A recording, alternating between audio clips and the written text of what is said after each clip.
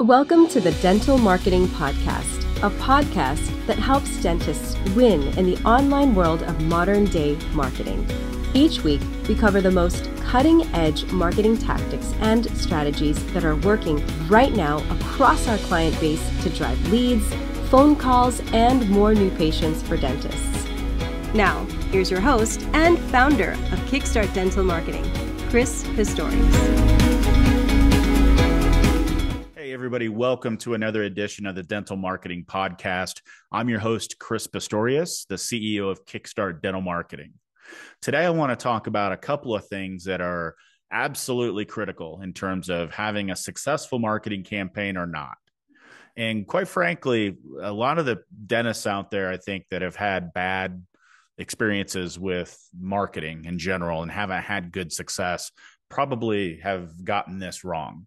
And this is really two things that if you don't get right, nothing else is going to matter. And these are the first two things that you should think about uh, before entering into any sort of marketing uh, venture, if you will. The first thing I want to talk about is identifying your dream patient. And what I mean by dream patient is if you could describe the perfect patient for your practice, what would they be? Right? And to put that on paper.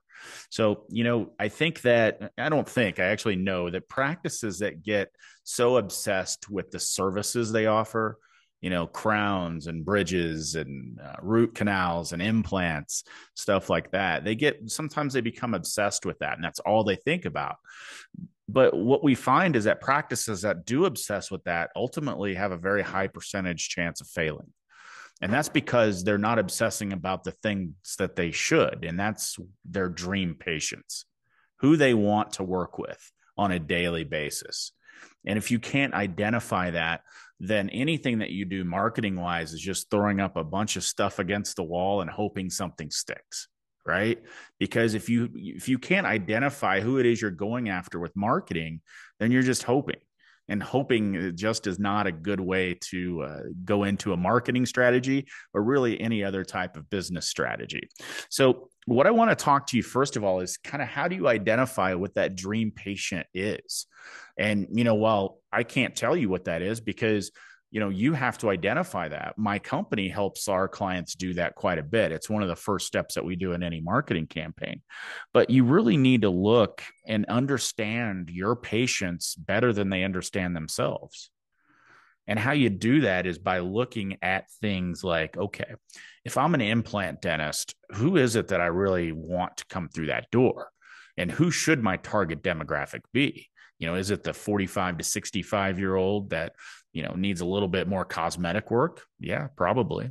If you're a pediatric dentist and you're thinking about all right who should my dream patient be? Well obviously that's going to be kids right? But you're really targeting the parents right? So your demographic is probably that 25 to 45 year old female with two and a half kids and a golden retriever and maybe they own their own home right? These are the things that you've got to look at. Now, if you're starting a brand new practice, right, this is a little harder because you don't you haven't have any experience yet, and so maybe we kind of open the floodgates in the beginning, and then we figure out who we want our dream patients to be, right? But if you have an existing practice, like most of you do, this drill becomes pretty easy because you've got a database full of thousands of patients that you've worked with in the past. And you should be collecting demographic data about them, like age, in maybe not income, but we can get to that. But marital status, you know, things like that that can lead to other things like homeowner, um, just different types of demographics. So you need to look at your books and you need to see and and pull data and you know put it into flowcharts so that you can understand who it is that's working with you who's spending maybe the most money and the services that you want them to and then you can profile that person and come up with one of your you know new patient avatars if you will or your dream patient. And guess what? It's okay to have more than one dream kind of dream patient or more than one, you know, uh, patient avatar right? But you've got to know those avatars and you've got to understand who they are and you've got to put that on paper and agree to it with the other stakeholders in your company, whether it's a business partner, the front desk, everybody in the office should really know who that uh, dream uh, patient is and and what they look like. And the reason why this is so critical, we talked about just throwing stuff up against the wall and hoping something sticks.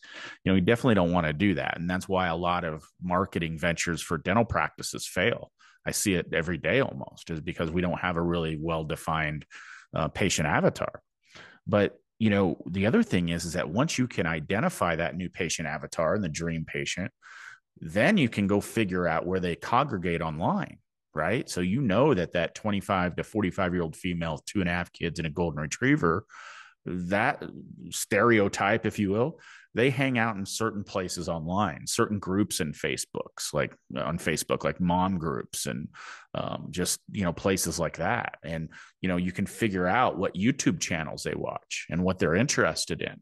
And then once you figure out where they congregate online, then that's when a market you can put your message in front of them because you know who they are, you know their age range, you know then where they hang out, and then you get your message and you buy your media based on those demographics of that dream patient and you put your message in front of them in those places whether it's a facebook group or a youtube channel um, whatever it may be you know that's that's how you do that and that's how you uh, come up with a successful marketing campaign. That's just the foundations of it, though, right?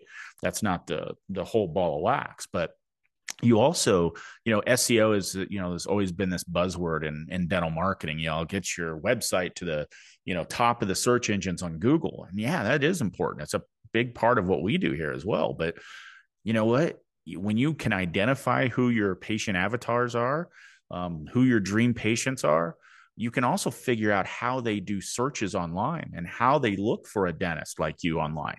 What keywords do they use? And then those are the keywords that you target, the ones that your dream patients are using, right?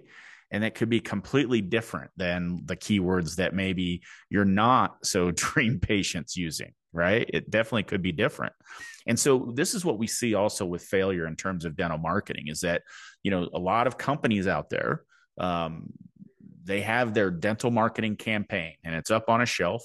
And whenever they sign up a new dentist, they get it off the shelf. And it's that exact same campaign that they use for every dentist that they sign up. And I get it. It's an easy way to scale an agency and get a ton of clients. Unfortunately, it's not the way to get best results because they're not structuring and customizing that campaign based on what your dream patient looks like, what their demographics are they're just blanket. This is this is our campaign and that's going to lead to failure as well. It's not going to work very often right? So you've got to work with a company or if you're doing it yourself um, do it yourself but make sure that you're using a customized approach versus just a stagnant you know one size fits all approach okay? Are you looking to grow your practice but are a little unclear on what the best way is let us help you out. We have over 13 years of experience in helping practices just like yours increase new patient growth. Just go to kickstartdental.com and sign up for a free strategy session where we will give you some great insights on how to take your practice to the next level. Now, the other side of this is once we've really gotten our um, dream patient figured out or dream patients and new patient avatars figured out and we've got that on paper and everybody agrees to it. We've also got to figure out something that's called the usp it's been around for years right? It's called it's uh, that's short for unique selling proposition. And when i bring this up to dentists it's almost like a cringeworthy moment moment for them when they when they hear the word selling or sales. Well you got to get over that in my opinion as a dentist okay? Because guess what? You are selling something you are. That doesn't mean that your approach has to be like a used car salesperson or a you know a timeshare presentation, something like that. That's not what I'm talking about. I'm am saying though that whoever answers the phones and responds to people that call you and ask questions about your practice, um, potential new patients, they have to understand the value of your practice, and then they have to understand how to convey that value to your potential new patient. And if they're not doing that effectively, or if they're not doing that at all, I see that a lot, then you are not going to get as many new patients scheduled and in the chair as you want to. You have to have some sort of sales component to your practice. You do. It's just way too competitive now. Corporate dentistry is invading everywhere. You have to be able to tell your story. And so USPs, unique selling propositions, is where we work with our clients along with the new patient avatars of okay, so you're not the only shop in town. We know that, right? We did a competitive analysis and there's 35 other dentists that do pretty much exactly like you do. Right? So why should somebody choose you? What's different about you? Why should somebody choose you versus the 20 or 30 other dentists in the area? What makes you different? And a lot of times I kind of get this deer in headlights look, and I get it because it's happened to me years ago too. And somebody asked me this and taught me this. But it, it's kind of like, and then they, rush and they say something kind of knee jerk, like, well, I've, you know, I've been around 20 years, or we've got the best technology, or um, we've got the best staff. That's great. But guess what? That's what everybody else is saying too. You've got to come up with something unique selling proposition. Keyword there is unique right? We've got to have something a little bit different that separates you from the competition. And I would say 95% of the new clients that we take on don't know what this is, right? And I get it, but it's an eye opener for them. And we work with them on figuring out what is going to be unique to them, right? It could be something very little, like they're open Saturdays, right? Or it could be something more extreme where they actually go to people's houses, right? And do, do, uh, do um, appointments in home for special needs people. You know, that's a pretty obvious one, right? But there's something, there's something that makes you a little bit different. And that's something that we use in marketing to exploit and make you unique. But it's also something that the front desk has to understand and be able to convey to a potential new patient. Right. So if you have those two things, if you have your dream patient identified You've got your unique selling proposition. it could be more than one unique selling proposition as well. If you've got that on paper and everybody understands it, including your front desk, your staff, your marketing company, if, if applicable, um, if everybody's on the same page there, then you've got the foundation for a very powerful marketing campaign because we've identified who we want, where they are, and then we know how we're unique and how we're different and better than the competition. Simple as that. Once you've got those two things, then it's just all about execution. So, anyway, I'm going to cut it off there. Um, if you need some help with identifying um, your new patient avatars, your dream patients, um, if you need help uh, understanding what your unique selling proposition is and how you can stand out from the competition, please let me know. Go to my website, kickstartdental.com. There's a free strategy session button right there. Um, and I do all of those personally myself. Just schedule a time that works for you, and we can go over everything about your practice. I'll give you some tips and tricks on some things that I see that you know could help out, other than your USP and your your dream patient. Um, but do that. Schedule the time. And I'll be more than happy to help you and walk you through it. But anyway, this has been another edition of the Dental Marketing Podcast. Thanks so much for your time, and I look forward to speaking with you soon.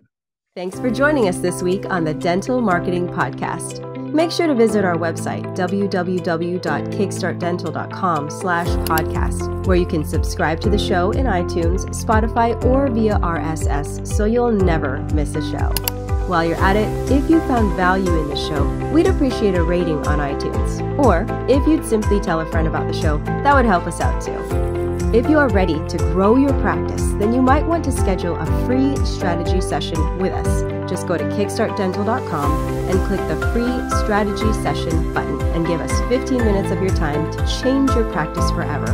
Be sure to tune in next week for our next episode. And thanks for listening to the Dental Marketing Podcast by Kickstart Dental Marketing, where dentists go to win online.